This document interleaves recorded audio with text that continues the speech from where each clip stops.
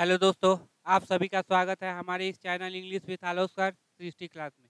जैसा कि मैंने पहले आ, पेपर रीडिंग का कंसेप्ट अंडरस्टैंडिंग का कंसेप्ट बिल्ड अप कर रहे हैं। एडजेक्टिव हो गया आज एडवर्ब करेंगे। पहले पेपर रीडिंग कर लेते हैं। इसमें आप पार्ट्स ऑफ़ स्पीच निकालिए। कौन सब्जेक्ट है कौन भर्व है कौन ऑब्जेक्ट है क्या ऑब्जेक्ट कौन ट्रांजिटिव भर्व है। ट्रांजिटिव भर्व ऑब्जेक्ट लेता है कि इन ट्रांजिटिव ऑब्जेक्ट नहीं लेता है।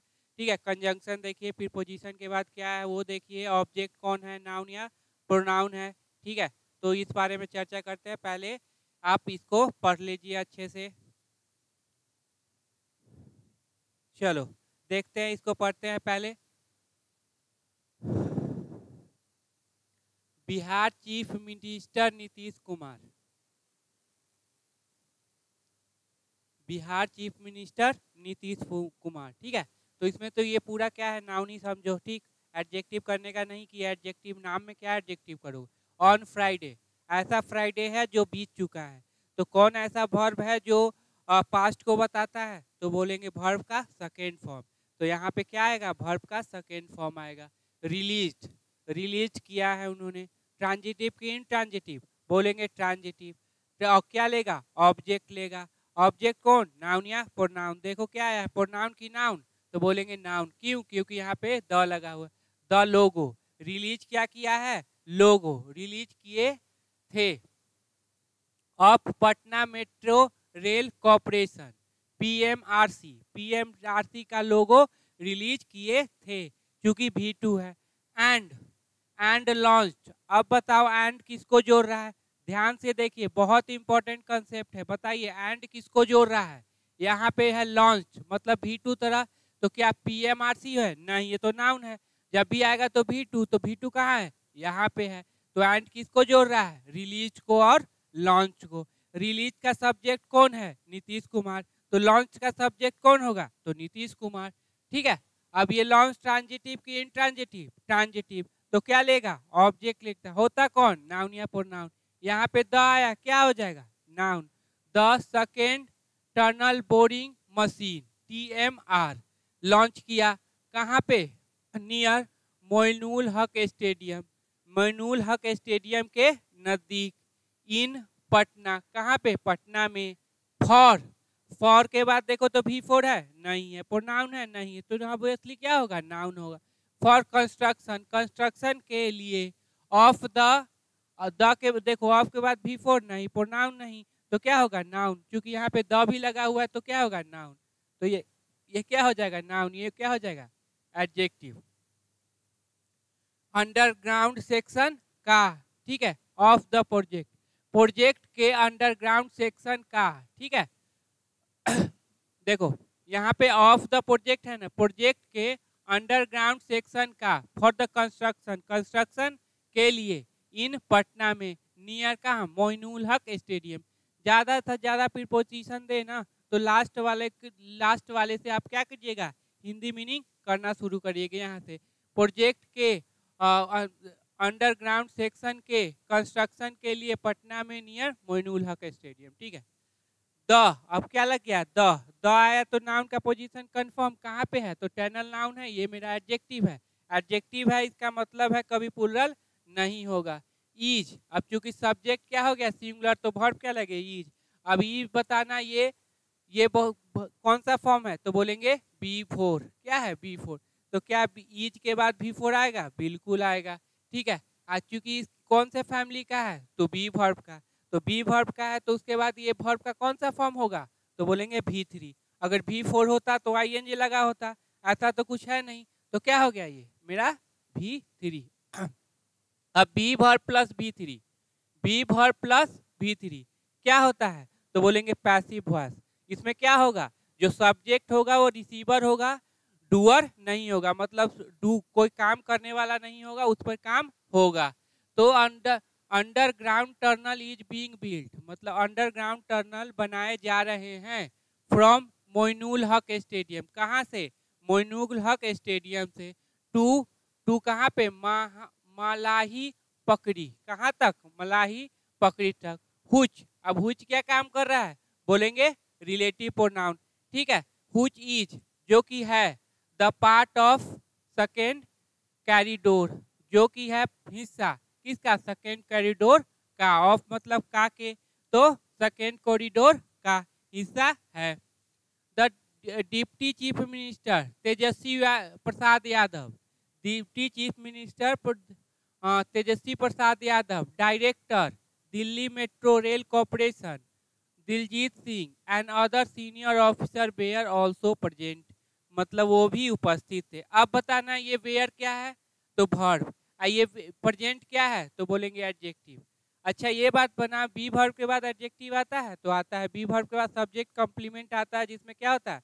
नॉन प्रोनाउन और एडजेक्टिव अब यहाँ बी भर्व है, ठीक है, यहाँ पे एडजेक्टिव आया। तो बताओ ये क्या है? तो बताए थे ना? ये मेरा क्या हो जाएगा? एडवर्ब क्योंकि एडजेक्टिव से पहले क्या आता है? एडवर्ब देखो, अगर नाउन रहता ना, क्या रहता नाउन तो इधर बहुत सारा एडजेक्टिव आप क्या कर सकते, लिख सकते थे। लेकिन जब एडजेक्टिव केवल अकेले रहे तो केवल और केवल जो पोजीशन होगा, वो किसका होगा? एडवर्ब का होगा। ऑल्सो प्रजेंट भी प्रजेंट थे ऑन द ओकेजन ऑन के बाद भी फोर नहीं प्रोनाउन नहीं तो क्या हो गया? Noun D M R C has been appointed अब देखो हैज़ के बाद भी थ्री है है। बी वर्ब के बाद देखो, भी थ्री है है। अब बताना एक्टिव की पैसिव तो बोलेंगे पैसिव क्यों? Be verb plus V three क्या हो जाएगा?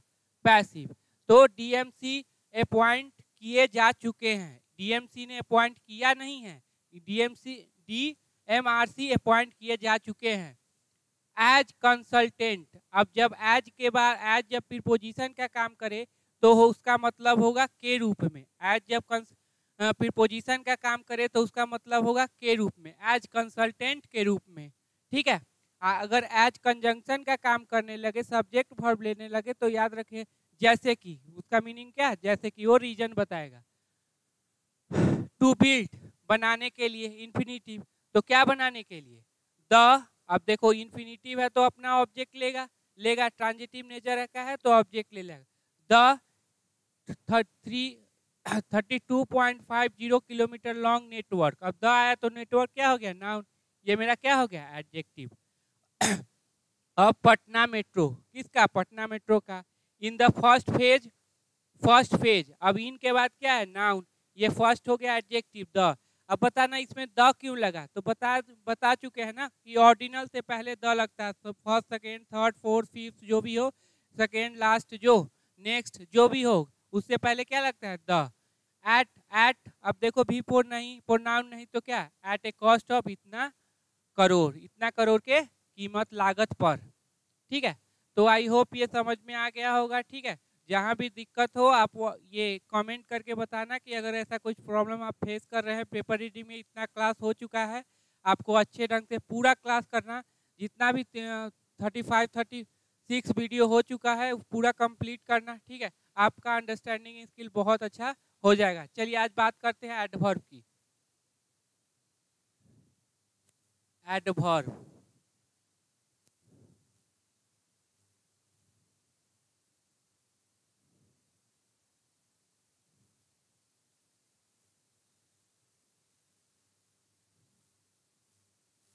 एडवर्ब अब क्या होता है? तो देखो लंबा लंबा डिफिनीशन नहीं देना है, बस एडवर्ब के बारे में बताता है ये। वर्ब को मॉडिफाई करेगा, ये एडजेक्टिव को मॉडिफाई करेगा और ये एडवर्ब खुद को मॉडिफाई करेगा। इसका मतलब ये ज़्यादा स्ट्रेस डालेगा वर्ब पे एडजेक्टिव पे और वर्ब खुद पे, ठीक है?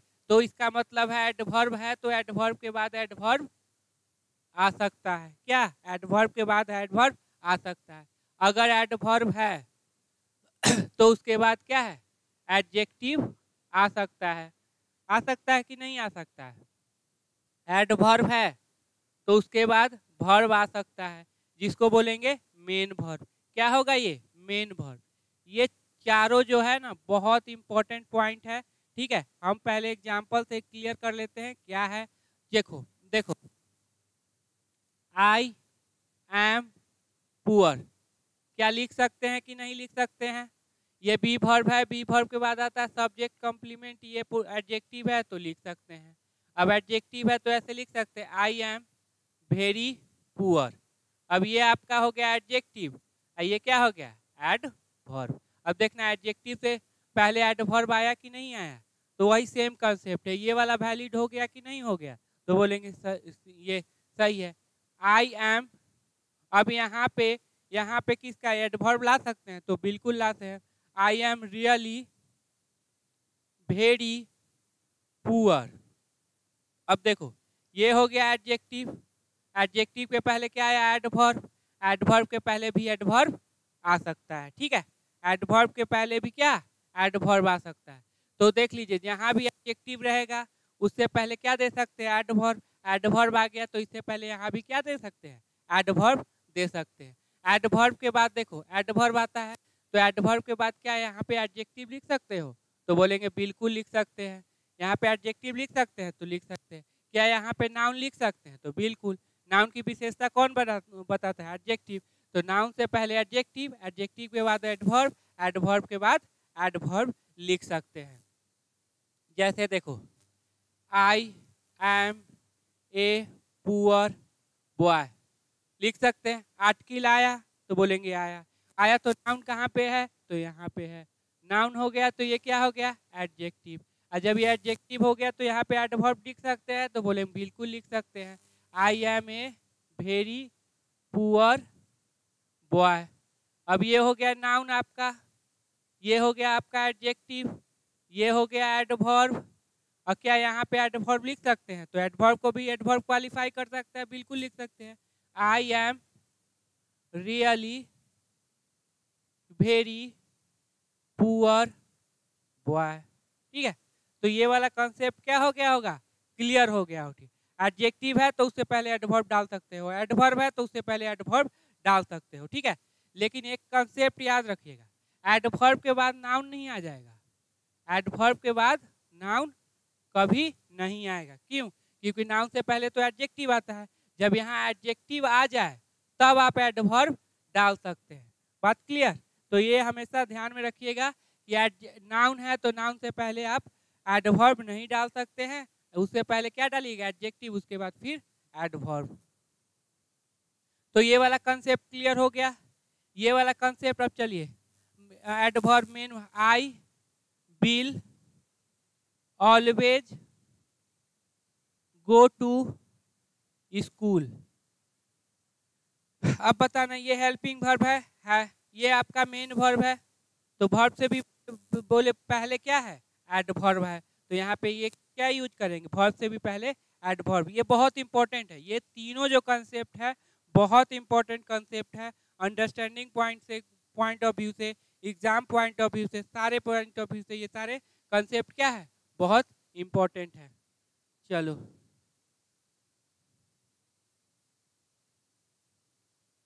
अब चलिए। करते हैं टाइप्स ऑफ़ एडवर्ब क्या करेंगे? टाइप्स ऑफ़ एडवर्ब एडवर्ब कितने तरह के होते हैं। याद रखना, जब भी आपको भेन से रिप्लाई मिले, कोई घटना हुआ कब भेयर कहाँ पे, ठीक है? उसके बाद हाउ कैसे वाई क्यों, अगर रिप्लाई मिले, आप समझ जाइएगा तुरंत वो क्या है? एडवर्ब है।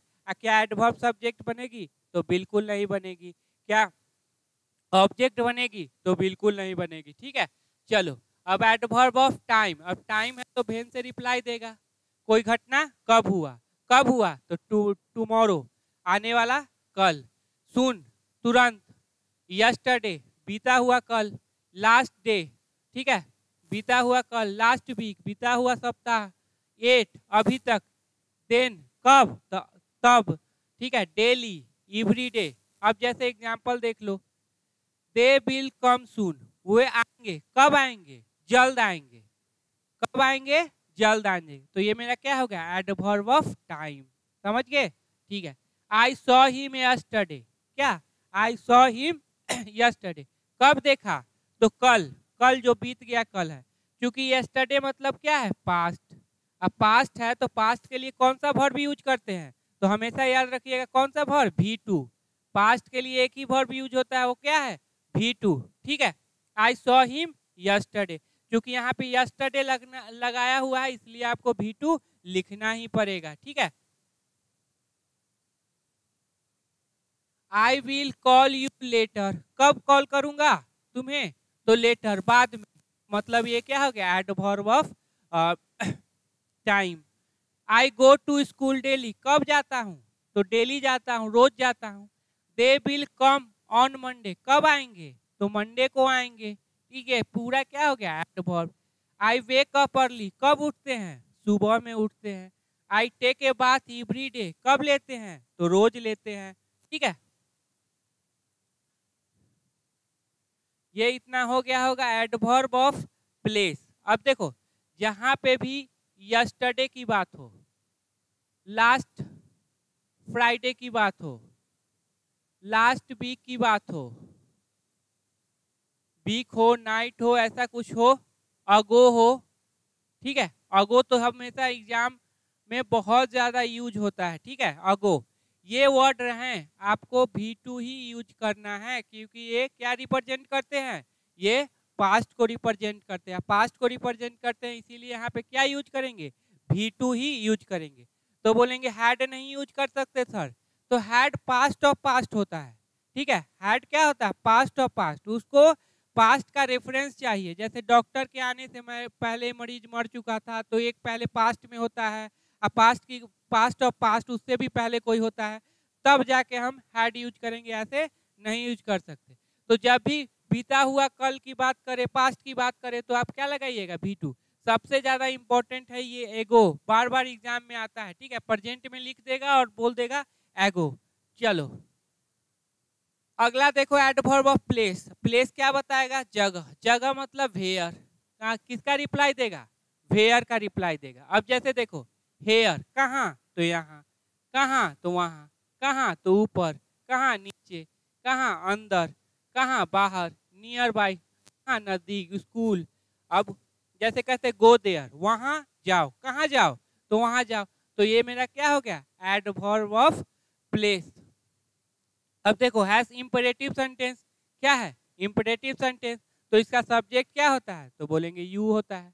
क्या होता है? यू जो कि छिपा रहता है, ठीक है? कम हेयर आओ, कहाँ? यहाँ। तो ये भी क्या हो गया? एडवर्ब ऑफ़ प्लेस ठीक है? आई विल स्टडी एब्रोड कहाँ मैं पढ़ूँगा? तो एब्रोड क्या हो गया? Adverb of place they search for the lost book everywhere कहाँ कहाँ देखा? तो सभी जगह देखा। माई सिस्टर इज़ आउट मेरी सिस्टर बाहर है। कहाँ है? तो आउट है। ये हो गया एडवर्ब ऑफ़ प्लेस ठीक है? जहाँ भी कहाँ का रिप्लाई है? जैसे देखो आई गो टू स्कूल तो मैं जाता हूँ। कहाँ जाता हूँ? तो स्कूल ये पूरा जो हो गया ना आपका, वो क्या हो गया? एडवर्ब हो गया। क्या हो गया? एडवर्ब स्कूल नहीं लेना है। टू स्कूल ये जगह को डिनोट कर रहा है। तो क्या हो जाएगा? एडवर्ब ऑफ़ प्लेस अब बात एक समझ लेना। बहुत इंपॉर्टेंट पॉइंट है कि किसी भी वर्ड को देख के आप ये नहीं कर सकते कि पार्ट्स ऑफ़ स्पीच में वो क्या काम कर रहा है। फिर से रिपीट करते हैं। किसी भी वर्ड को आप देख के ये नहीं कह सकते वो पार्ट्स ऑफ़ स्पीच में क्या काम कर रहा है, जब तक कि वो सेंटेंस में यूज़ ना हो। जैसे एक बोलते हैं आई रीच्ड होम ठीक है? I La I have a home delivery service I like my home कहने का ये मतलब है, किसी को देख के ये नहीं कह सकते कि वो क्या है? जब तक कि वो सेंटेंस में यूज़ ना हो पार्ट्स ऑफ़ स्पीच आप नहीं बता सकते, जैसे देखो आई रिच में पहुँचा। कहाँ पहुँचा? तो घर पहुँचा। तो यहाँ तो एडवर्ब हो गया। आपको लगा होगा कि ये नाउन है, लेकिन यहाँ तो नाउन का काम नहीं कर रहा है। यहाँ पे एडवर्ब का काम कर रहा है। तो कैसे कह देंगे कि नाउन है? चलो I have a home delivery service अब सर्विस क्या हो गया? नाउन ये मेरा क्या हो जाएगा? एडजेक्टिव ये क्या हो जाएगा? एडजेक्टिव ठीक है? अब यहाँ पे होम क्या काम कर रहा है? तो बोलेंगे हाँ होम क्या काम कर रहा है? तो बोलेंगे एडजेक्टिव ऊपर बोले एडवर्ब है, नीचे बोल रहे हैं, ये क्या है? एडजेक्टिव है. और लास्ट में बोल रहे हैं यहाँ पे I like my home possessive adjective है, उसके बाद क्या आता है? नाउन आता है. तो नाउन है. यहाँ पे एडवर्ब बन गया, यहाँ पे एडजेक्टिव बन गया, यहाँ पे क्या बन गया? नाउन तो फिर कैसे कह सकते हैं कि होम जो वर्ड है वो नाउन है या एडजेक्टिव है या एडवर्ब है? तो पहले ही बात, किसी भी वर्ड को देख के आप ये नहीं कह सकते कि वो पार्ट्स ऑफ़ स्पीच में क्या कर रहा है, जब तक कि वो सेंटेंस में यूज़ ना हो। जैसे बताना, दिल्ली क्या काम कर रहा है? तो बोल देना, नाउन, नहीं, ये भी एडवर्ब का काम कर लेगा, ये भी एडजेक्टिव का काम कर लेगा, और ये भी नाउन का काम कर लेगा। तो जब तक इस सेंटेंस में यूज़ ना हो, तब तक आप यूज़ नहीं कीजिएगा, ठीक है? चलो। Adverb of manner. ये जवाब देगा हाउ का। किसका जवाब देगा? हाउ का। कोई काम कैसे हुआ? एडवर्ब ऑफ़ मैनर कोई काम कैसे हुआ? तो देखो एडजेक्टिव में, याद रखना एडजेक्टिव में एल वाई लगा दीजिएगा, वो बन जाएगा एडवर्ब क्या बन जाएगा? एडवर्ब अगर नाउन में, क्या है? नाउन में एल वाई लगा दीजिएगा, वो बन जाएगा एडजेक्टिव ठीक है? फिर से समझना। अगर एडजेक्टिव में एल वाई लगा दिए तो क्या बन गया? एड भर अगर नाउन में एल वाई लगा दिए तो क्या बन जाएगा? एडजेक्टिव इतना बात क्लियर ना? Adjective plus L Y adverb noun plus L Y adjective अब ब्यूटीफुल है. एडजेक्टिव है, इसमें एल वाई लगा दो तो क्या बन जाएगा? ब्यूटीफुली क्या बन जाएगा? एडवर्ब लाउड है. एडजेक्टिव है तो लाउड में एल वाई लगा दो तो क्या बन जाएगा? एडवर्ब लाउडली बैड है तो बैडली जेंटल है तो जेंटली नीट है तो नीटली क्विक है तो क्विकली स्लो स्लो है स्लोली तो एक नाउन वाला भी एग्ज़ाम्पल ले लेना जैसे लव है plus L Y love noun होता है, क्या होता है नाउन? तो क्या हो जाएगा? लवली अब लवली बताना क्या एडवर्ब होगा? तो बोलेंगे, बिल्कुल नहीं, क्या है? एडजेक्टिव है। क्यों? कि नाउन में एल वाई लगाएँगे तो एडजेक्टिव अब जैसे फ्रेंड है प्लस एल वाई तो क्या हो जाएगा? फ्रेंडली ठीक? तो ये क्या हो गया? एडजेक्टिव चलो आगे देखो। गुड है गुड का होता है वेल इजी का इजीली ठीक है? आ, अब देखो, जब भी एडवर्ब ऑफ़ मैनर यूज़ करना है ना तो देख लेना ट्रांजिटिव है कि इंट्रांजिटिव सब्जेक्ट आएगा भर्ब आएगा भर्ब अगर इंट्रांजिटिव निकला तो यहीं पे लिख दीजिए एडवर्ब ऑफ़ मैनर ठीक है? अगर सब्जेक्ट निकला ट्रांजिटिव तो क्या ले लेगा? ऑब्जेक्ट ले लेगा। क्या ले लेगा? ऑब्जेक्ट तो उसके बाद लिखना एडवर्ब ऑफ़ मैनर बात क्लियर और जो भी प्रीपोजिशनल ऑब्जेक्ट आएँगे, वो लास्ट में चले जाएँगे। ही एट वह खाया था। क्या खाया था? चॉकलेट तो देखो ऑब्जेक्ट लिया लिया। ग्रीडली बहुत ही लोभीपूर्ण तरीके से क्या किया? खाया, ठीक है? अब ग्रीडली किस पे ज़ोर दे रहा है? तो भर पे। हमेशा याद रखना एडवर्ब ऑफ़ मैनर भर पे ही ज़ोर देगा, ठीक है? दे फॉट वो लड़े। कैसे लड़े? तो ब्रेवली किस पे ज़ोर दे रहा है? तो ब्रेवली पे।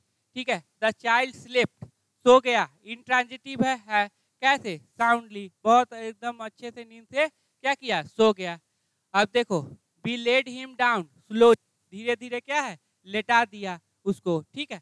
तो यहाँ पे देखो ऑब्जेक्ट ले लिया। ऑब्जेक्ट के बाद क्या आ गया? Adverb of manner hold the box अब ये इंपरेटिव सेंटेंस है इसका सब्जेक्ट कौन होता है? तो यू होता है। होल्ड द बॉक्स कैसे? केयरफुली। कैसे करो? केयरफुली करो। ठीक है? ही डज हीज वर्क अब ट्रांजिटिव वर्ब है ऑब्जेक्ट लिया, यहाँ पे honestly she left the place छोड़ दिया। क्या छोड़ दिया? प्लेस को छोड़ दिया। कैसे? एंग्रीली बहुत गुस्से में। ठीक है? You danced beautifully last night अब चूँकि लास्ट नाइट का यूज़ हो रहा है, कब? तो पिछली रात। पिछली रात पास्ट है तो इसलिए भी टू यूज़ किया। यू डांस ब्यूटीफुली जो ब्यूटीफुली किस पे जोड़ देगा? तो डांस पे। You handle the case boldly कैसे हैंडल किया? बोल्डली देखो, अगर ट्रांजिटिव है तो ऑब्जेक्ट लेगा। फिर ऑब्जेक्ट के बाद रखेंगे एडवर्ब ऑफ़ मैनर अगर इंट्रांजिटिव है तो उसके बाद ही लिख देना। ठीक है? और जो भी ट्रांजिटिव हो इंट्रांजिटिव वो भर पे ही जोड़ देगा। ठीक है? किस पे जोड़ देगा? भर पे ही जोड़ देगा। ठीक है? तो इतना काम कर लेते हैं आज के लिए। आज के लिए इतना ही। पेपर रीडिंग हो गया। एडवर्ब का भी कंसेप्ट दे रहा हूँ। ठीक है अच्छे से पेपर पढ़िए अच्छे से उसको अंडरस्टैंड करिए। अब भूकैप का भी सीरीज़ आज हुआ आ, आ गया है। आज से भूकैप भी चालू हो जाएगा। हमारे दीपक सर आए हैं ठीक? वर्ड का बताएँगे आपको कि कैसे वर्ड को याद करना है और कैसे आपको उसको मेमोराइज मतलब लंबे समय तक रखना है ठीक है? तो दूसरी जो वीडियो होगी आज वो दीपक सर का होगा जिसमें वर्ड बताएँगे कि कैसे उसको याद करना है ठीक है? तब तक मिलते हैं नेक्स्ट क्लास में ठीक है बाय